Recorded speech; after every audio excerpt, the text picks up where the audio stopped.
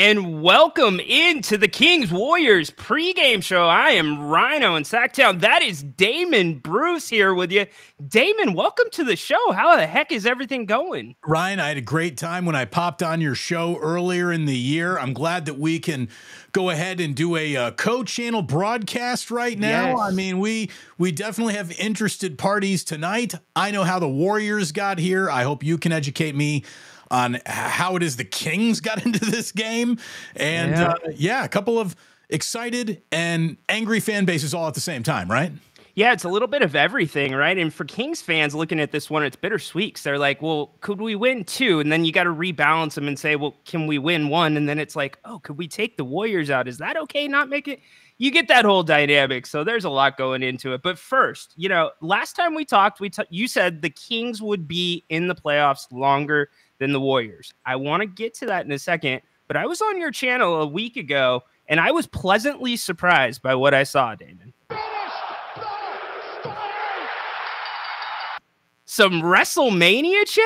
You got WrestleMania going on your channel? Fill me in. Oh, okay, so what happened was my wife is like a real housewives of anywhere addict, okay? So okay. Eh, so we have Peacock and also, there's a couple Indiana basketball games on Peacock, so I would have had it anyways. But because we had Peacock, I just happened to have WrestleMania. I hadn't watched WrestleMania in years, so I watched a little bit on what was it? It started on Saturday night. Saturday. And all of a sudden, within 15, 20 minutes, my four year old and my two and a half year old were fighting each other. Like it, it oh, wow. kids how to go bonkers. Like they, they loved it. It was a huge sensory overload for them. And I, I, I, was the first time I'd seen wrestling in a really long time. So come back on Sunday night. I'm like, I'm going to watch that main event. Hell yeah. and I did and it was better than I thought it was going to be. It made me smile more than I thought it was going to smile. I hadn't done a night of wrestling in I don't know, like 15, 16, 17, 18 years. It's been a long time since I I had any attention at all uh, paid to wrestling, and I just I, I thought it was great. well, brother, great. you picked a good show to come back. You picked a really good show. um, but yeah, we've got some wrestling fans that kind of tune in here once in a while. And then the other thing I got set up, you always do. It's it's your drink of the show. What is it called, Damon? Sip of the day. We do a sip, sip of the, day. Yeah, we actually I have a leftover cup of coffee right here, which okay. will which will function as the sip of the day on this show. Great. So I have an overpriced bubbly water right here, premium, just because Damon Bruce is joining us here on If You Don't Like That for the Kings Warriors pregame show and on Damon Bruce's channel, The Damon Bruce Show. So, Damon, let's get to it. I look at these two teams and I don't know what their identities are. So, if you are Golden State, what's your scout for Sacramento tonight? I mean, the identities are inconsistencies, right? I mean, that's both of the teams share that the the team you get one week is not the team you see the next week, and it's been like that for you know 82 games for the most yeah. part. Um, it, it look to me just the scouting report for this game as the Warriors are looking at it is simple. Let's hit more threes against a team that certainly isn't going to beat us without hitting more threes than us. You know, so I, I think the Warriors have to hit their shots. When the Warriors hit their shots, they turn into a dangerous basketball team. The fact Malik Monk isn't playing in this game is a big, big, big demerit to the chances of the Sacramento Kings walking away a winner. I mean, there are a lot of things working in that regard, right? There's an awful lot of history here. There's the, you know, DNA knowledge of a four-time champion that the Warriors have ingrained into them. There is the cultural Sacramento never's won a big game in like the history of its franchises element going on, including 100. a game seven against these very Golden State Warriors. You know, it's like it's like we we're back at last year. We just go straight to game seven and we all saw Steph Curry drop 50 at the Golden One Center in mm. the mm-hmm. winner go home game. And that's the sort of DNA that needs to take over for the Warriors. Now, again, Malik Monk isn't playing. Huerter is not out there. Gary Payton's not playing. That's a trade that I would make just from a who's playing tonight standpoint any night of the week. Yep. The Warriors get rebounds. If Wiggins stays in front of De'Aaron Fox or Podziemski or Chris Paul, however they go about that, because Gary Payton's not playing – there's your scouting report right there. Everybody do your damn job. You know, well, all at the same time in one basketball game. What a concept. Yeah. Don't throw the ball away trying to make, you know, some highlight level pass. Get a little bit more fundamental, take care of your business, hit your threes, beat the Kings. And then what? You're going to have to go on to another game and win that one too. It's like all Tough. of it it's like the NCAA tournament for the NBA. It really is.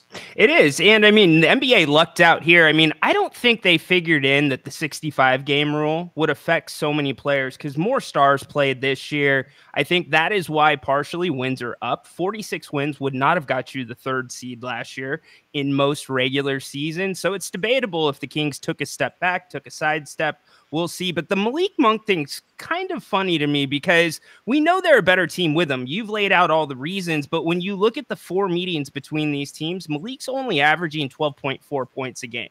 And I know that's a decent amount coming off of a Sacramento bench that doesn't give you much. The Warriors haven't seen this version of the Kings, and we don't even know really how to define this version because defensively and physicality wise, it changes night to night. Let's see what Keon Ellis does, right? Yeah. Is there is there any scenario in your mind that the Kings win this game without everybody walking out of Golden One Center talking about the game that Keon Ellis just had? Like he has to have a big game tonight. He has oh, to have 100%. one of those six steal gaffling Steph or Clay all night long, closing out on shooters kind of basketball game that makes everyone sort of reevaluate who he is and how costly that Malik Monk injury really is. Um, Keon Ellis is a good player.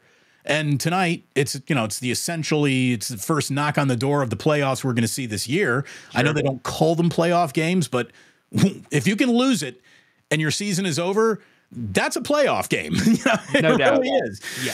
So uh, let's see what Keon Ellis does in one of the biggest basketball games he's played in in a real long time, right? I think that the the Kings are not winning this game without him being felt in this game.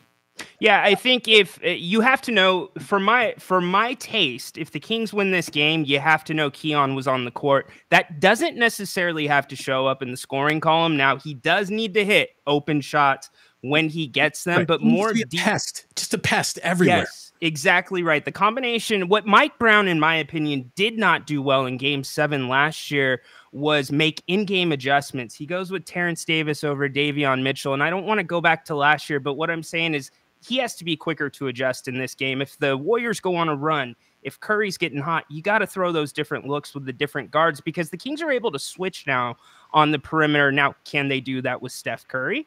That's a different situation. But Keon is absolutely key to what they do. And also, really, to me, what's key to what Sacramento's going to do, and I'll let you speak to the Warriors, is the officials. I think they're going to have as big of a part in this game tonight as anybody else because what kind of game is it going to be, Damon?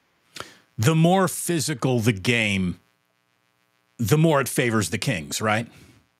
Not necessarily. I mean, you would think that going on paper, but then usually Looney comes in and maybe gets 11 rebounds. You know, they get pushed around when they shouldn't. Well, let, let's see what happens because yeah. Looney, you know, who, who, was pulling down rebounds at times, like his name was Wilt Chamberlain in the seven game series that they played last year. Is in a much different role right now, coming off much. the bench. What does Trayce Jackson Davis look like early? You want a good place to put your eyes in the first five minutes of the game. What's Trayce Jackson Davis doing against Sabonis, battling in the front court? Great point. Does, does Draymond handle that without any help, or vice versa? I guess I should say.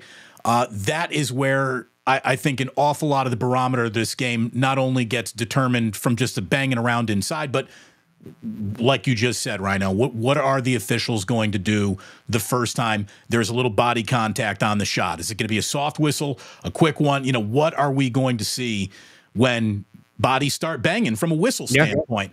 Yeah. Um, the Warriors have just starred in a, you know, I think passed around by a lot of NBA online fans meme in the look at how many free throws the Lakers get to shoot. Look at how few free throws the Warriors get to shoot. It's the biggest disparity I think then, in the NBA. And then the Kings. yeah, yeah, yeah. So and and then if you get to the you know, you actually get to the line, what do you do when you get there? Great For point. a team that has some Hall of Fame caliber shooters on it, the Warriors aren't as good at the free throw line as I think they would be. Andrew Wiggins is always an adventure. You see what you get out of Draymond, who, again, feels like he should and does draw the most contact, but then he might not take more than four shots. So, yeah, you know, there's a lot of things that go into stats that as you look at them and point at them, with certain teams, it feels like you can make your accusations. There's so many different weird moving components to how the Warriors not only shook out as a team, but statistically as well this year. They've just, again, it's at the epicenter of the frustration because there are nights when you look at the Warriors and you said to yourself, none of this fits. What are they doing? Why are why aren't why aren't they doing something else? Why didn't they position themselves an off season ago into something else? And then there are other nights where it's come together to the point where you think, do you think that they could win a first round series if they were actually the eight seed? You know, like, I mean, yeah, no, totally. It's been weird. It's been a really weird year. It has been a weird year, and you hit on Trayce Jackson Davis. I want to talk about him for a second because that matchup was Sabonis. We've seen the Warriors play off of Sabonis many times, and that's kind of been the the hitch in Sabonis's giddy up. It's not so much the decision he makes; it's the time it takes to make the decision. So, do you expect with Trayce being a little bit smaller that the Warriors are going to hang off Sabonis, or do you think he's going to try to bang with them a little bit? If I'm Sabonis, I'm going inside with shoulders no and elbows. Yeah. You That's have to. I'm doing. Yeah, I mean, yeah. there are other guys on the Kings who are going to take your mid range and your your eight to ten footers. And if Sabonis wants to go ahead and live there, I saw the Warriors beat them in a seven game series when he tried to do that before. I think he learned from that, right? I, I think he's going to get more aggressive. I also think that Draymond brings out the aggression in players just because uh, look if i'm the kings the best way to win this game is get Draymond ejected right? I mean, i've been looking to nudge Draymond everywhere around the court. Get under his skin extra elbows extra shots to the thigh or the whatever you know just whatever you can do to get into him. You get into him tonight and i don't know how you do that you know if you're sagging off and playing away from the rim. So i do think it's going to get physical and if i'm sabonis if I'm Sabonis, I want to bang. That's oh, no doubt. Yeah. That's his. I mean, for him, that is like a kid in the candy store. If he's got a guy that's a little bit smaller than him, because he doesn't see that too often. Um, but for those that may be watching this right now that aren't Kings fans or maybe haven't watched a lot of Warriors basketball, I say Jonathan Kuminga's development. You say it's a crying shame that he's ineligible for most improved player in the NBA. I don't know if he would have won it, but he should be in the conversation. Um, he's ineligible due to the way that the NBA tracks minutes. I saw that a little bit earlier today online.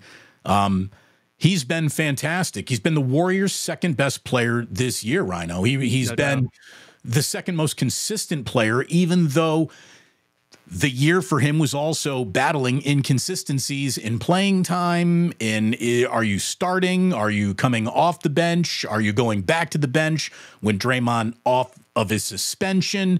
Can you and Trayce Jackson Davis coexist out there in a front court? So it's been of figuring out how all the pieces fit together year but Kuminga just as the individual huge step forward. Big big step forward. And if he takes that next step forward this offseason, I mean, he could be flirting with all star potential next year. I believe that.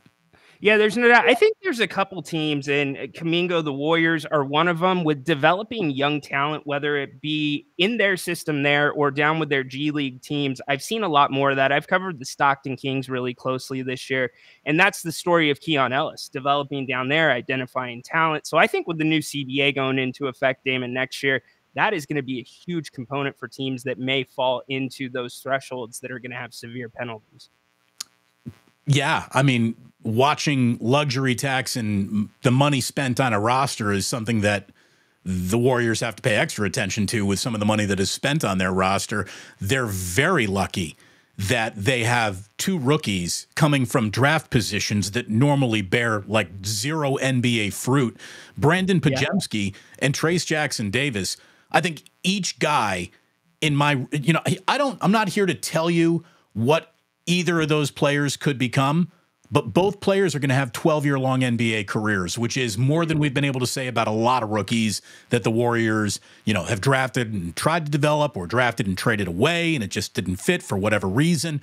You got two NBA entities out of the 19th and what 58th pick in the draft. That's yep. really something else for the Warriors. And they're very lucky that they did that because the price of poker goes up an awful lot just the way the league works and Steph's contract works. Yeah, speaking of contracts, if the Warriors lose tonight, is this the last time we're going to see Clay in a Dubs uniform?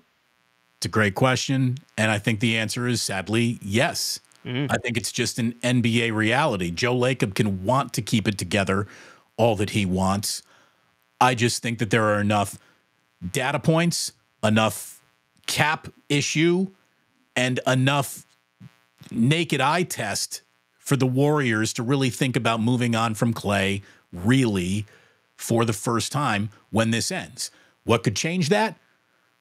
Well, you beat the Kings, you beat whoever the Warriors, uh, the Lakers and Pelicans winner is. Now all of a sudden you're in the eight seed. What do you got? The Thunder, Thunder, the one seed, Thunder, right? Yeah, yeah. Okay, all of a sudden the young kids get upset. Now all of a sudden you're playing poker in the second round, and Clay just had one of those games that make you go, "God damn!" Without that, it's probably not happening. Does this Warrior team believe, Damon, just eh, the inside beat? Like, eh, how are they walking into this game? I think they believe they can beat Sacramento, but do they think they can do anything past that? They absolutely believe, 100% believe that they can that they can win this game. Do they believe that they're about to hang a banner and be champions? I mean, they're they're kind of sniffing their own farts if they really believe that. I think sure. there there's been enough there's been enough tribulation in the entire year for them to understand where they are in the pecking order of contention right now. You know, to, to be champions, you have to know what it takes to be a champion. And I don't think the Warriors are looking around and saying, we have exactly what it takes to be champions. There is, there's a, a you know, a remnants, there's an ember of a champion in there, but will there be a fire burning them towards the NBA finals? I, I just don't think so. And, and there's no shame in that. There really isn't. No, now, there's not. In this offseason, if they tried to run it all back, no matter what happens tonight, there would be shame in that. That's why Absolutely. I think Clay has to go because it's just time for something different because this experiment has run its course. And by the way, the experiment was grand. It was beautiful. It hung four banners. It took the Warriors from being on the same level of the Sacramento Kings and separating them to the point where they're now the most valuable franchise in the NBA. Who would have ever thought the Warriors could exist, not just, you know, as a star in the NBA universe, but an entire constellation to themselves? No one ever thought that this was available even in their wildest dreams for the Warriors, but they can't again, it's been 10 years of unbelievably satisfying basketball. And, you know, that that's that's normally five more years than any really satisfying basketball team gets. no doubt. And I'm impressed with how they've done it. For the most part, other than KD, they've done it organically. They've drafted well. They, they just draft well historically, and they've made some good decisions uh, in the front office. And the Kings, you know, they're going to have a big offseason coming up for those that don't know, they ran it back this year. They said, We think that we can get a little bit better. Let's not go all in quite yet. And kind of like the uh, Warriors, the Kings fans and the Kings, this is going to be an offseason of change regardless. And, and, by the way, let me apologize. I've seen the comment here. Uh, that there's a little buzzing. That is definitely coming from my end. I don't know what the problem is. Uh, it was a problem a, a day ago with Larry out of nowhere when we were doing a show together, and I'm sorry that I brought my my headphone or microphone buzz to your channel. Pardon me. Hey, hey, my brother, you can bring your buzz any single time. I will deal with the buzz to have you one on one on with the Kings late or Kings Warriors pregame show. It is good stuff. But um, no, just getting back to the Kings, it's going to be a different offseason. And I think for us, I think I would say optimism's high from this point. Pressure is off, Damon.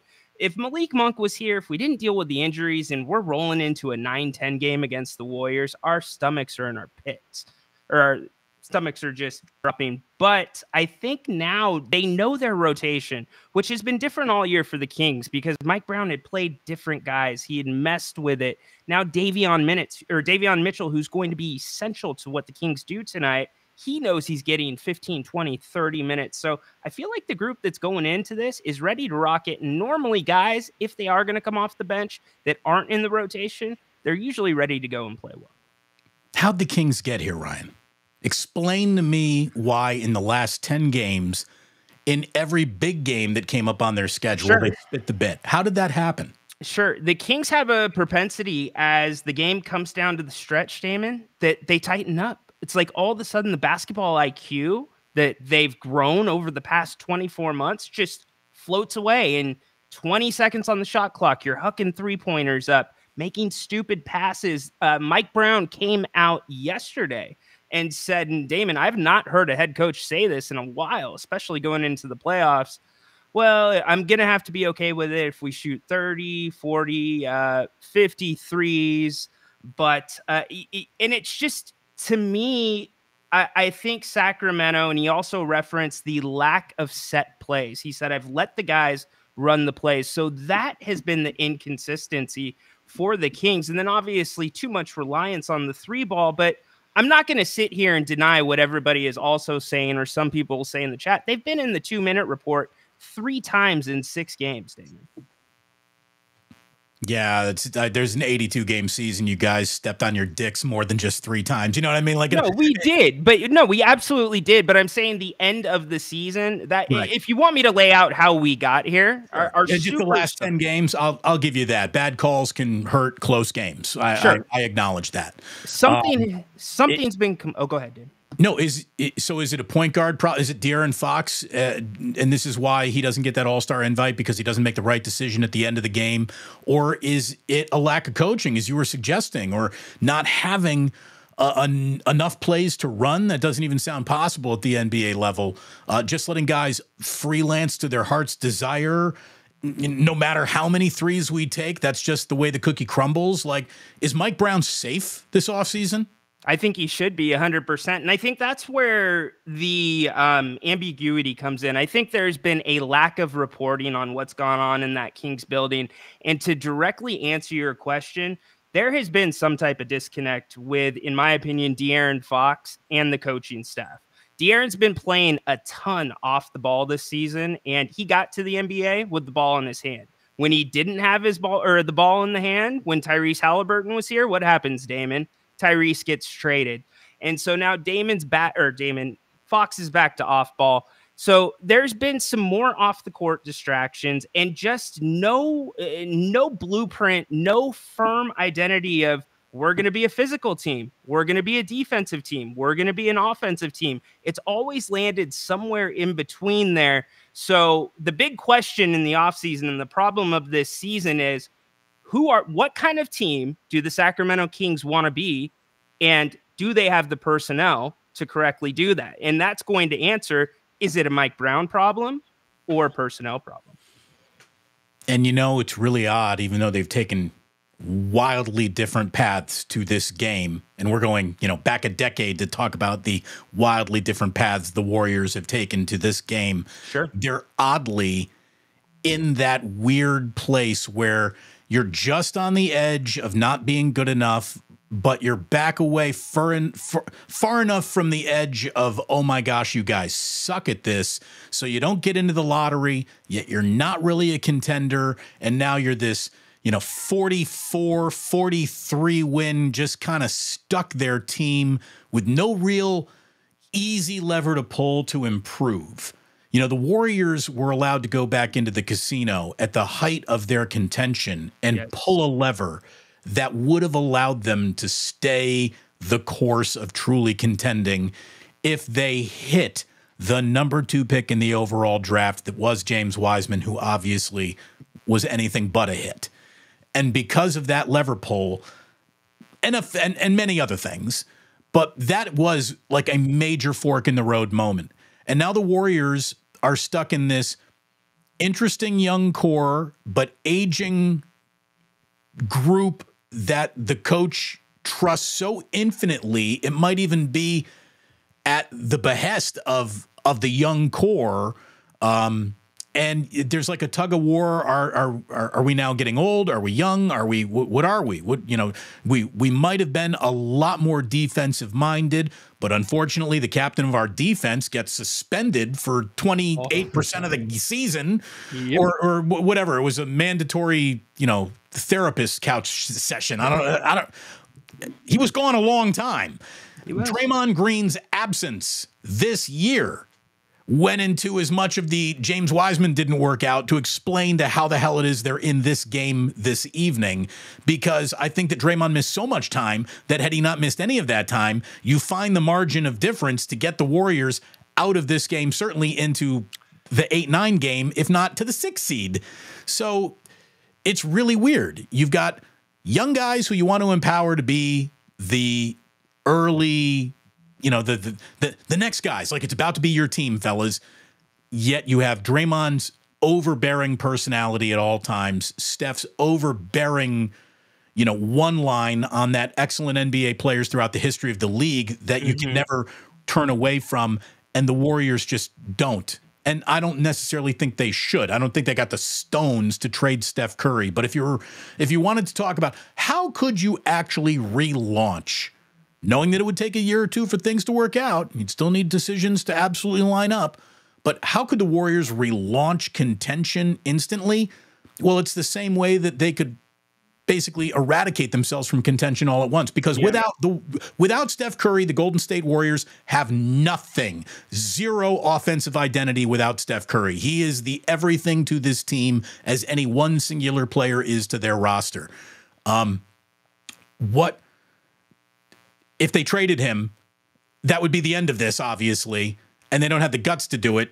But that's the only mega return that I think anyone could fetch for the Warriors because I don't want him trading Kuminga. I don't want him trading Trayce Jackson Davis because these are the young guys that you got to get better with as you 100%. Yeah, so. you, you got to build around them. And I guess the question becomes how long is Steph willing to wait? Let's say Kuminga continues to progress. The Warriors can improve smallly in different areas. Maybe that changes. But do the Warriors owe Steph anything if they do get to that spot to let you know, Steph I mean, make that decision? Yeah. And look, they got an owner that absolutely will give it his best shot for whatever the Warriors don't do, it won't because it was a dollar amount Joe Lacob was unwilling to spend. I think we've learned that. Okay. Um, and you know the whole like, what do the Warriors owe Steph Curry or vice versa? You know what? What are you going to do about that, dude? It's the last few years of his career. Like the prime is not just in the rearview mirror; it's fucking way back there. Okay? I am not going to say the prime's way back there, Damon. I thought he had one of the better years he's had in a really long time with a depleted team. That's the same thing. Like. It, there's still that. That's how good he is. That's yeah. why you can't say no or goodbye or evaluate him as we got to say goodbye a year too early rather than a year too late. You know, it's one of the you you he is their everything still and he's the greatest shooter in the world and he's never been this jump out of the gym athlete. Like I think Steph has actually got a game that is built to age. Like at some point, he's just going to be the old man hitting corner threes. Yeah. But he could probably do that till he was 56 years old. you know, I mean, like, like longer than that, probably. Yeah.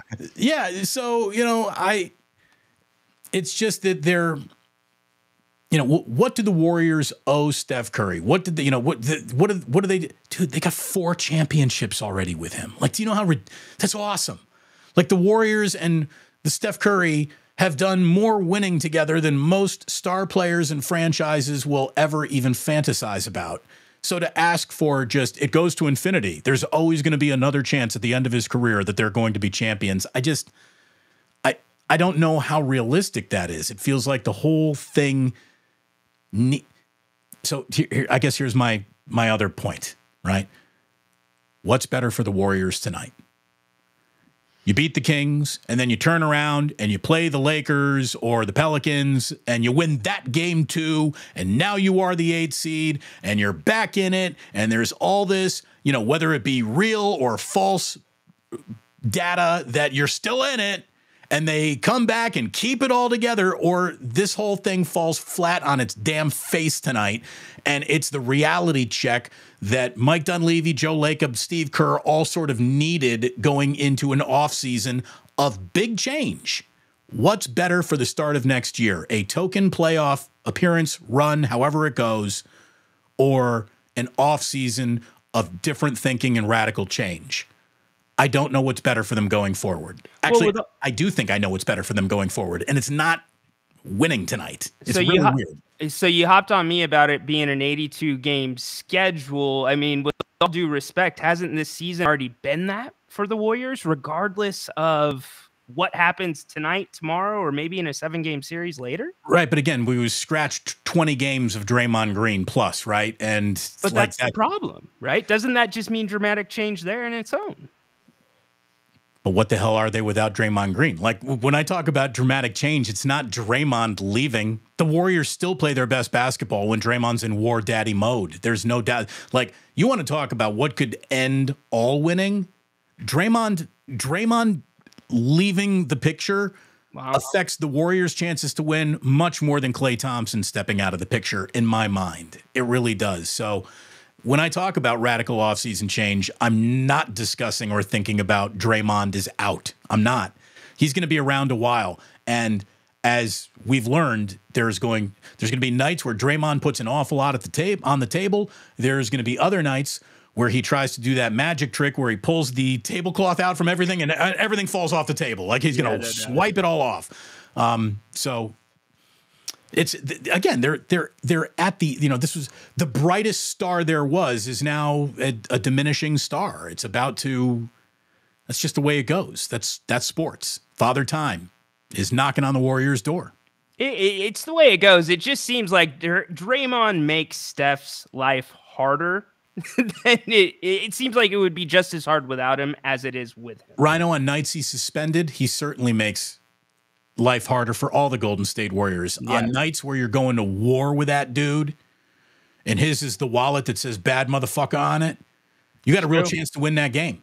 It, there's I'm, something to it. The Kings don't have one of those guys, Damon. No, they don't. No, they don't. By the way, like what could be the difference between the Kings and you know where they could have been or where they are? Is a deal with the devil that gets you a player like Draymond Green, who one night you're saying we can't tolerate any more of this, and on the next night you're saying, holy shit, he, you know, even though his box score is not that impressive, his fingerprints are all, all are all over this win tonight, and that's yeah. who Draymond has always been. Yeah, he he somehow he ends up sneaking up for three or four threes against the Kings every game. Dram, or it is Damon. It seems, but dude, and I'll tell you, if he hits three against you, you're basically toast. That's a done. magic number for the Warriors. Draymond really? hits three okay. threes in a game. I don't have it in front of me, and I don't want to make it up on the spot because the chat room will jump all over me with the right number. I'm sure, but like Draymond hits three threes. Oh, the Warriors win an awful lot of those basketball games. All right. So I, I kind of want to learn a little bit more about those landmarks because the Kings have some of those stats too. But Damon Bruce joining us here on If You Don't Like At and the Damon Bruce Show. Uh, I know you have a certain name for your community. You've built up a hell of a community, by the way, Damon. Tell them about it. Thanks. It's it's just been awesome, and you know, I, I, I invite any one of your regular listeners, Ryan, who is a big 49ers fan, because I think we do a great job covering the 49ers, yes. hopefully on the channel, and I hope they would think that too. Please like, subscribe; it would mean an awful lot. Um, you know, I. I love Bay Area sports. I think I've, you know, in 18 years done a pretty good job covering it. I continue to do that, but now over here on YouTube, you know, the, YouTube is not some local radio station. It goes a lot further yeah. than that. So I'm branching out into even more stuff and I'm looking forward to it. It's year number two, just started year number two over here on uh, uh, on the Plus, as we call it. and, and, yeah, it's uh, Damon Bruce Plus. Pl- plus and Bruce had a baby and birthed the word Plus, and uh, my my audience makes makes up weird sayings around the show, and that's one of them. So here we are. Love it. It's gone very well, and and I thank everyone who's been a part of it. I, I get it, Damon. I come from a pedigree of Jim Rome and Grant Napear, so uh, a lot of different fans that like to do different things, but it's a pleasure having all of you here. If you want to check out my work, that's the King's Court. It's a daily podcast, King's Insider, and it's free. Go check that out. We get you ready for the game. We get you ready for whatever is coming up that day with the Sacramento Kings on Apple and Spotify. All right. So, look, if I can say, you, yeah. do a hell of a job of what you do. Grant Napear is just a good guy through and through.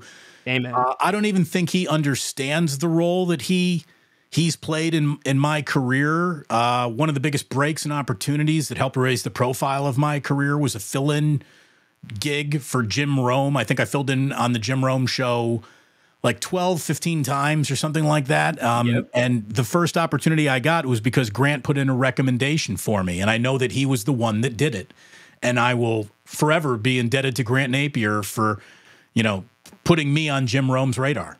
That's an amazing story. Uh, what was your experience like being in the jungle that many oh, times? It's it's like the first time you get flipped the keys to the Ferrari. Like I had driven cars before, but never quite the Ferrari, anything this big, this fast. Sure, and, sure. And it feels like it feels like a big show as you're doing it, as you're hosting it. It feels like, you know, if anything were to go wrong, it's going to take an awful lot of effort to steer this Titanic away from the iceberg. like that's how big it is. Yes. So, you know, it's it's the hardest prep you'll do for any show you're you're ever going to host. You know, you're going to try to map it all out and then live radio happens and everything changes anyways and that's the beauty of it all and you're either good at that or you're not. And it made me feel like, hey, I, I might be good at this. And it, I again, it was a, a, a certainly a a fork in the road moment for my career. Well, I would argue the yes, Damon, you can host the Jim Rome show would have been, hey, I might be good at this, not just be there. But that might have been the moment but, but then you got to do it, right? You got to do it. Yeah. There are a lot of people who have been asked to be a guest host and we're not asked back after a day or a week doing it. So, you know, the fact that you get asked back means, all right, now you did it. Now you did it. So, no, um, no, yeah, no. You, you, handed a stage. It's another thing to actually perform on it. No doubt. You're absolutely right about that. And they tell you, I'll give you a little inside jungle. Damon will know this. They tell you to do your show. They don't want you to do the Jim Rome show. They want you to do whatever your show is going to be. And I think that's pretty cool. And I think that one of the the trip ups for the people who don't get asked back, Ryan, are they sit down in there and then they start doing like a poor man's Jim Rome impression. Yeah. All of a yeah. sudden, they're starting to talk like with some uh, st- staccato in their voice, and they're getting they're they're over enunciating for some reason, and they're saying clones, and they go, and now you're doing a bad Jim Rome impression like a stand up comedian, and that's when that show sucks. Then then you've got bad Jim Rome sound drops on top of it, you know, right there. So, anyways, Damon and Ryno here getting you ready for the Kings and the Warriors. If the Warriors win tonight, Damon, give me one name that we have not talked about yet that we will be talking about. Hmm. Chris Paul. Mm. Chris Paul. Chris Paul can't be Mr. I never won shit and go home in a one and done game. You know, like he, he he's I think going to be asked to do more than he would be because of the Gary Payton injury and I think Chris Paul needs to have one of those I'm a first ballot Hall of Famer and even though it's the end of my career I can still reach out in my back pocket and pull out a basketball game. Chris Paul has to have a really good game tonight and the Warriors keep the turnovers low and instead of missing those three wide open threes tonight, Chris, they fell. That's that's how the Warriors win this game. I almost said Brandin Podziemski, but I'm going to yeah. put more responsibility on Chris Paul than a rookie. Well, the Kings have trouble sometimes with distributors. I will say this: Chris Paul is not going to do all the things uh, Gary Payton the second does. Uh, he is just the king of the hustle, the king of the 50-50, the king of the pressure. It's a right. pleasure watching him play. But I do want to talk a little bit more about the turnovers because I watched some film on the Warriors. Certainly, they turn it over a lot, but it's the reaction to the turnovers. Sometimes they can be a little bit lazy getting back. Have you noticed that, or is that something Steve Kerr has addressed? It's been a pox upon this house since Steve Kerr got the job. the, the, look because they've won championships, you officially don't get to complain about much. But we've complained about the, the the Warriors' ability to turn the ball over in all sorts of situations, and it's Steph Curry's fingerprints on this. It's Draymond Green's fingerprints on this.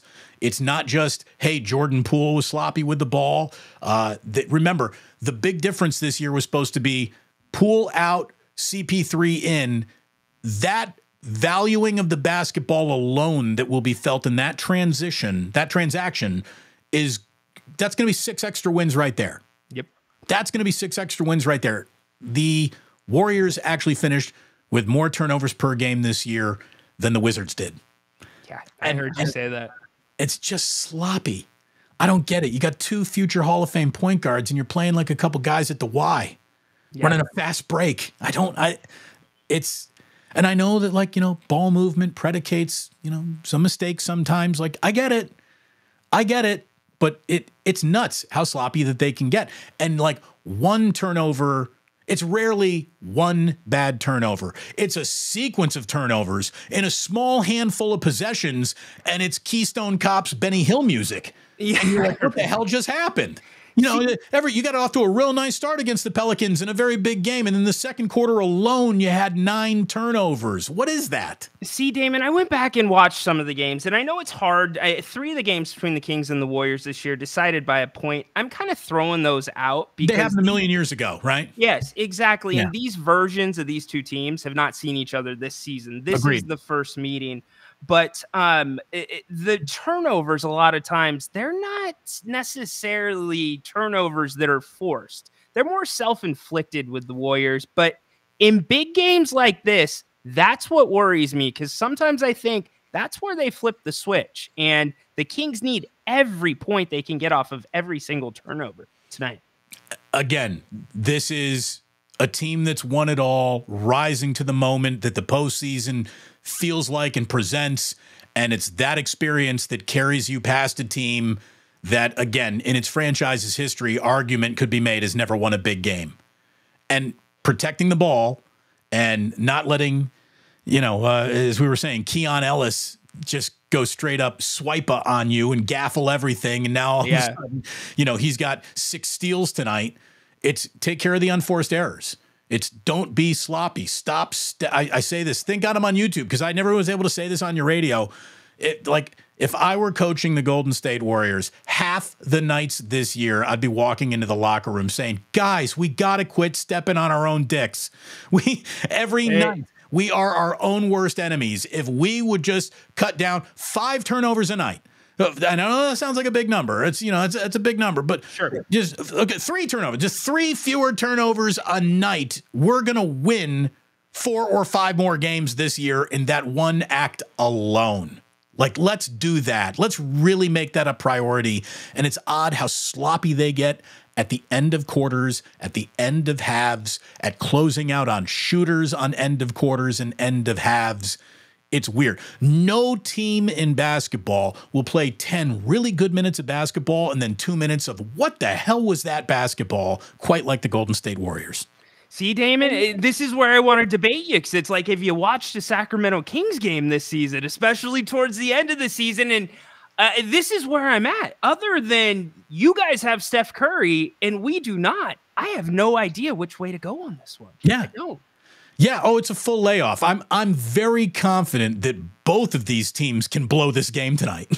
yeah, uh, see, I don't know who's going to win it, but I know who can blow it, and it's both rosters. They no are well equipped to blow this game. There is no doubt about that. You know who will not blow it? That is Bennett's West Side Grill in Rocklin, located in the Blue Oaks Town Center. You guys know it's brunch season. Get to Bennett's, get your patio reservations. Go to Bennett's Restaurants.com. You can check out the menus, the specials. You can also make reservations, get gift cards, and scope out the other locations.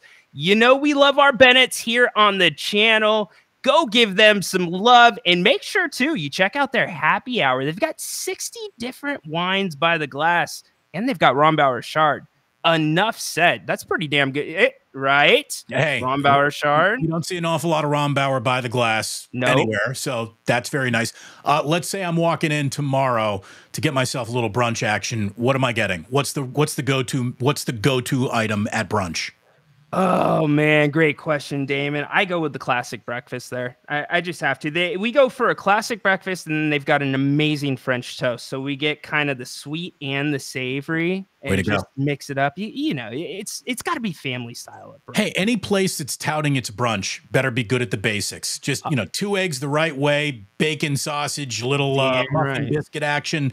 It's like a it's like an Italian restaurant. Any Italian restaurant should be measured on one dish only spaghetti and meatballs.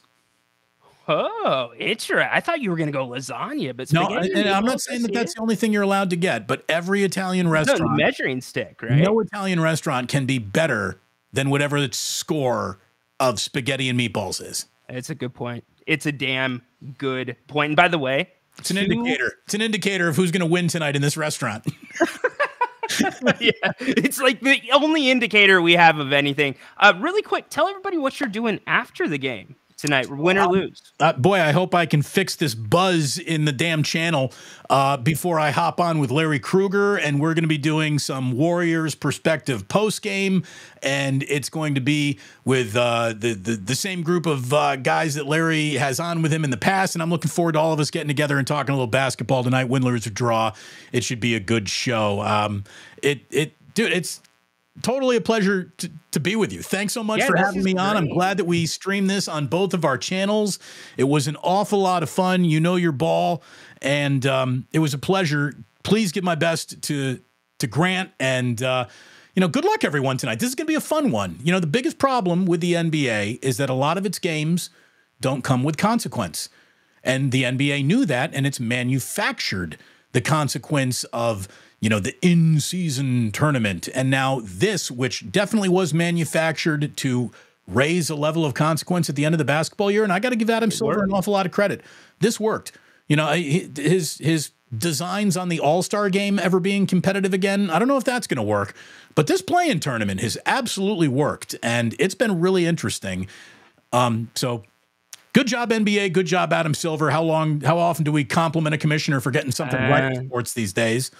It's a tough job. It's a tough job. There's no doubt about that. Hey, I'm not going to let you get out of here without giving a prediction.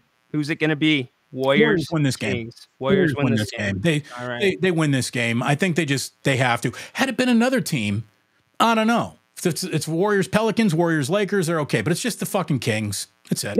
it's not just the Kings. We have a beam. Come on, Damon. Sorry, Sorry man. Uh, Sorry. Uh, yeah, you know, I I've gone both ways, Damon, and uh, my heart tells me it's going to be the Warriors, but I look King Street coming into this. I, I, just feel like there's this undercover confidence in this building, and I feel like you might see a different De'Aaron Fox. Now, you brought up Draymond. You could get under De'Aaron Fox's skin too. You could get him out of the game as well. He's had some issues kind of controlling his outbursts, or you could at least get him checked out for a possession or two. So I worry about that. I think the Kings are going to find a way to pull this one off tonight. Even really with Harrison Barnes giving you his annual postseason two for 13 from the floor? You know, I think we're going to see some. Uh, get this. I think we're going to see a little bit of high low action between the forwards tonight. And I think they're going to throw a different look at the Warriors in this. Usually the Kings set up their offense from certain predictable spots with Domantas Sabonis. I think they're going to get him a little bit more in motion tonight, get him catching the ball coming off of curls and getting him into different spots where that space can't be created by the defender and dragging off of him. But that's just my guess. We'll see. My my key is points in transition and points off turnovers. That that's what it's got to be. I was uh, asked to come on uh, VSiN you know the Vegas Insider yeah. Sports Network. I was I, I, was asked to come on, and unfortunately, they asked me to come on in a time slot where I'm running to get the kids and pick up wife from Bart, so I, I couldn't join them. And so the host of the show, Tim Murray, then was like, "Hey, Damon, give me some insider dope on you know what what do you think's going to happen tonight?"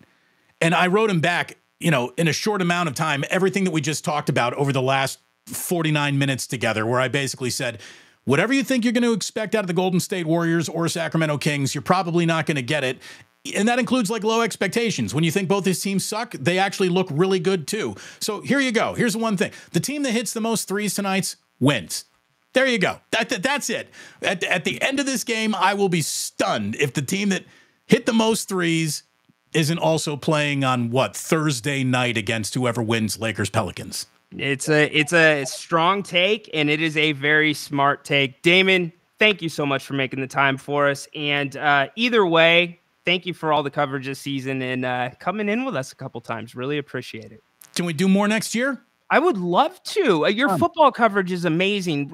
Um, do the draft coverage one more time. Remind people because we have a ton of Niners fans that watch this show in Sacramento. Hey, it's it's the NFL draft. We're going to be all over it. That's how that works. Yeah, you and Larry are all over it. Thank you. Yeah, he and I are doing uh, wake ups, uh, a show that we've kind of crafted starting at 8:45 on Monday, Wednesdays, and Fridays. So we're really excited about uh, tomorrow is a Wednesday. We'll be at it in the morning. Uh, we are going to be at it again next Wednesday as well. Obviously, with that being the day before the draft. Monday show's not happening because I'm going to be flying back from Vegas. I'm going to the ah. Sphere Going to see nice. a couple of concerts. The Sphere. I'm a, I'm a Phish guy, so I'm going to go to. I'm dragging my wife to more Phish concerts. She How'd loves you that. Score those tickets. I heard those aren't the easiest to get. Oh, dude, I don't even want to tell you. Like oh. one of the kids might not be going to college, but that's okay. Ah.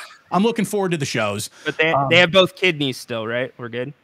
I didn't say that. You said that. Yeah, that's true. I did say that. Wasn't Ryno, supposed to bring that up. Thank you for having me on, brother. It was a real pleasure. And uh, hey, look, good luck. It's going to be a fun one tonight. We want real consequences, not manufactured. We got that tonight, and that's all you can ask for in sports. Amen. Hoping for a great game. Damon, you're a great guy. Thank you so much for being on with us today. Back at you. Tell tell Napear to quit dodging me.